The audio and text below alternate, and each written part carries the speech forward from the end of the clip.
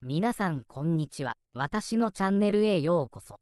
NHK の BSP4K と BS で放送中の韓国時代劇、青春ウォルダム呪われた王宮。BSP4K では、今日4日、目次、2第18話を放送。パリ五輪の中継のため、BS では放送休止となる。BS では第17話を15日深夜、イコール16日前0時25分に放送予定。NHK の BSP4K と BS で放送中の韓国時代劇、青春ウォルダム呪われた王宮。BSP4K では、今日4日、目次、2第18話を放送。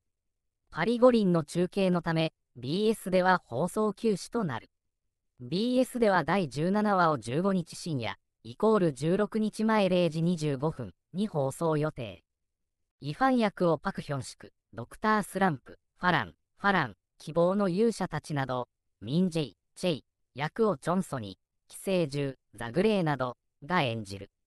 怪しい術で心の病を治すという無人帽子の寺で黒装束の男に襲われたハヨン王女を助けた孫恩。さらに、内観スンドルはチェイです、という密告文を王妃から見せられる。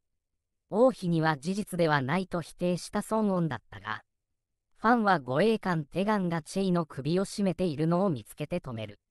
テガンは双子であることや出身地を隠していた理由をファンとチェイに話す。一方、チェイの防腐が不思議な図を描いていたことを思い出したカラム。ファンは、その図が暗号文だと気づく。また、ファンの妃、妃になる女性が決まり。どう思いますか？気に入っていただけると嬉しいです。また次回お会いしましょう。